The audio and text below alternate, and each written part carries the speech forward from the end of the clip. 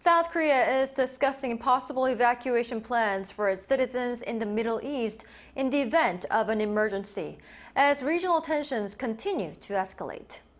National Security Advisor Shin Won-sik and the Presidential Chief of Staff for Policy Sung Tae-yoon convened a meeting on Tuesday to assess the impact of the crisis on Korean security and economy. Senior officials reviewed the security of overseas Koreans troops, and diplomatic missions in the region. The presidential office has vowed to take preemptive measures if necessary and closely cooperate with the international community to restore stability in the Middle East.